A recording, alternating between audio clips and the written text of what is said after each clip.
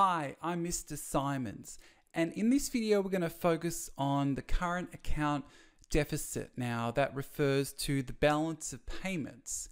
And what we're going to focus on in this video is how the balance on goods and services, so how the trade balance affects the current account deficit.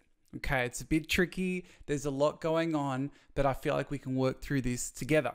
So, let's get started.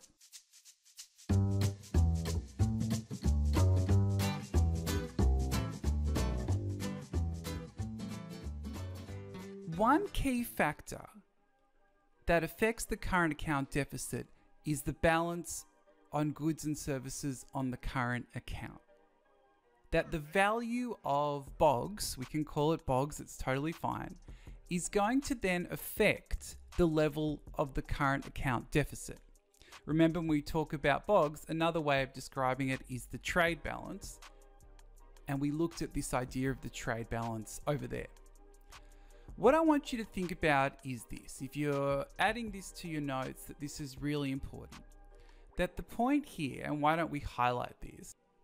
So essentially, when the value of BOGS changes, then the value of the current account will change.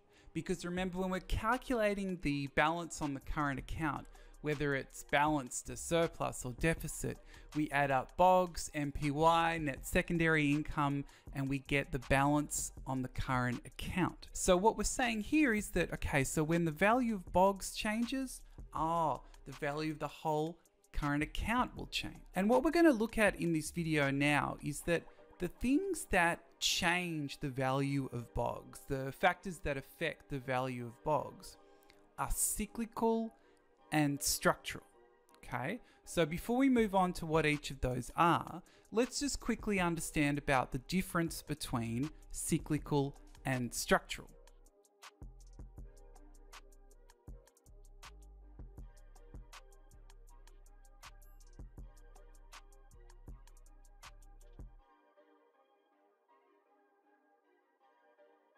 Okay, so cyclical factors are affected by economic conditions. So cyclical factors vary. So the impact of these factors varies or changes depending on the level of economic growth. So cyclical factors will be different when growth is high versus when growth is low, but it depends on the level of growth. Structural factors, however, are underlying factors.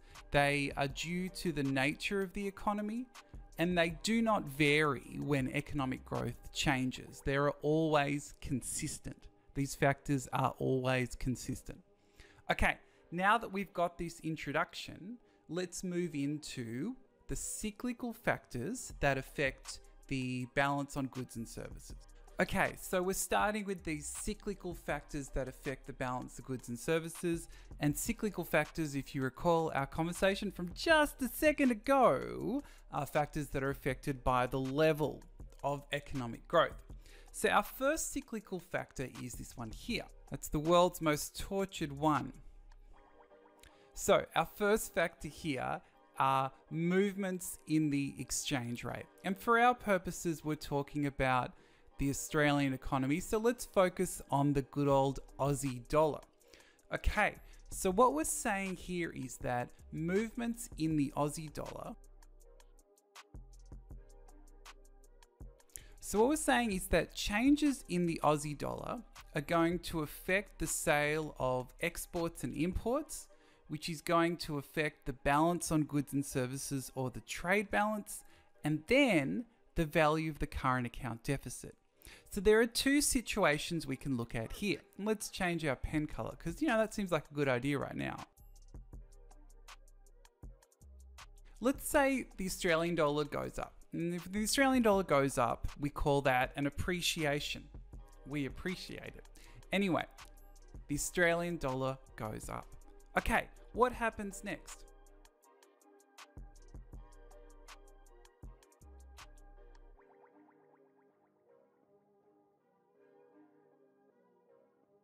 Okay, so let's look at this situation of an appreciation.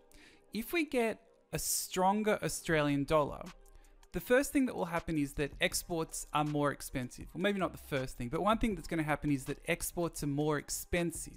That is, it will take more foreign currency to buy the Australian dollars, which then makes exports more expensive. And when we're talking like economists, what we say is that Australia's exports are less internationally competitive. They're more expensive. And that if something is more expensive, there will be a smaller demand.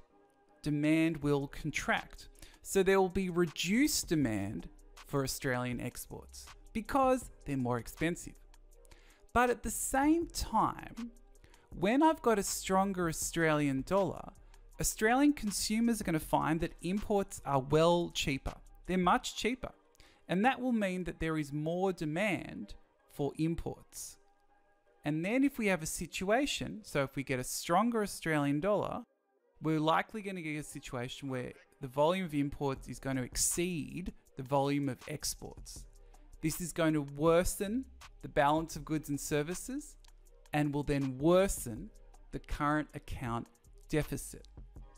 Okay, what would be useful now is if you flip the situation. Work through what would happen if an Australian dollar sorry, if the Australian dollar depreciates. How is that going to affect the balance of goods and services and the current account deficit? Okay, so you've had a second. Let's now quickly flip the script on the first cyclical factor and then we'll move on to number two.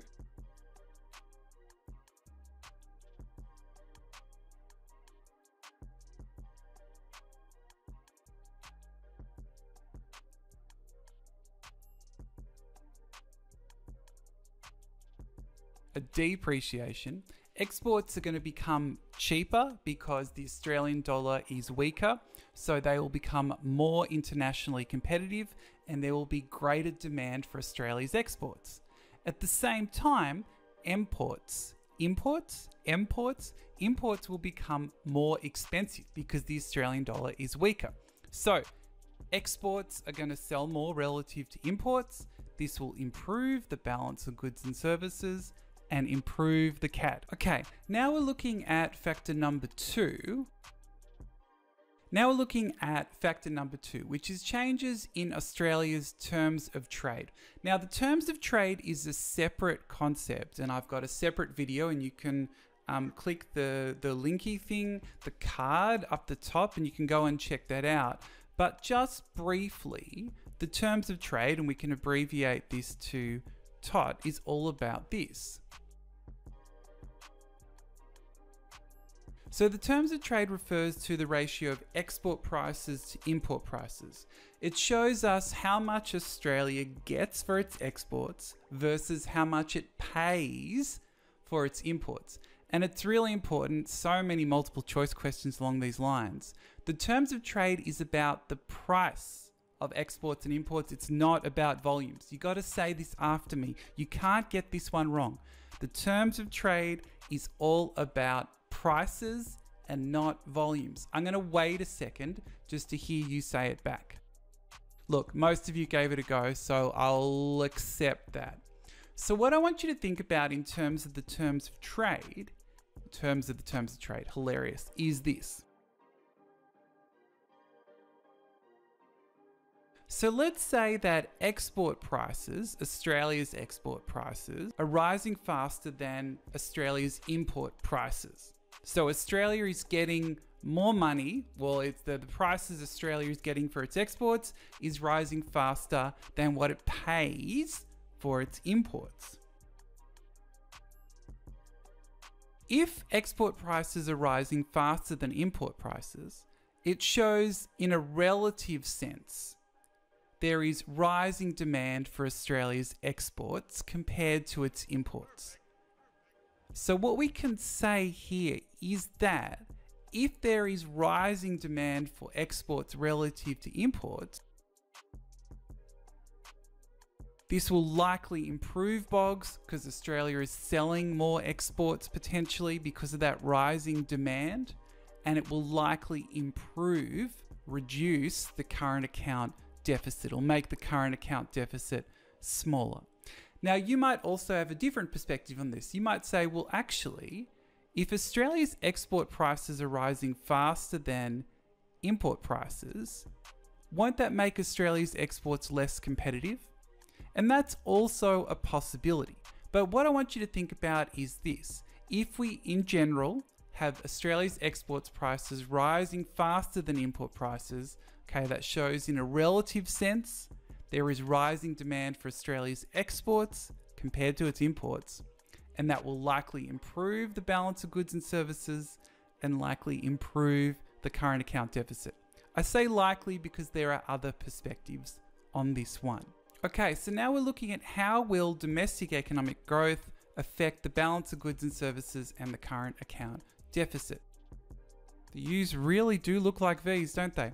So let's say we've got higher economic growth in Australia, okay? Higher economic growth in Australia. What this is going to mean is the following.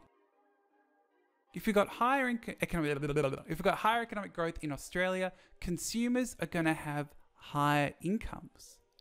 And if consumers have higher incomes, they have more disposable income. So they have more income that they can choose to spend on whatever they want because all of their requirements, all of their um, must spend, all of their essentials will be taken care of. So if they've got more disposable income, then they're starting to get on the internet, do a bit of online shopping because they've got this extra money and start to keep their eye on buying some more imports, some more exciting goods from overseas. And if you think about the nature of the bogs, what we've been talking about, if there is if imports start rising relative to exports, that's going to worsen the bogs, worsen the trade balance, and then worsen the current account deficit. So, higher domestic economic growth is likely to worsen Australia's bogs and its current account deficit. And you can flip the situation and add that to your notes now before we move into those structural factors.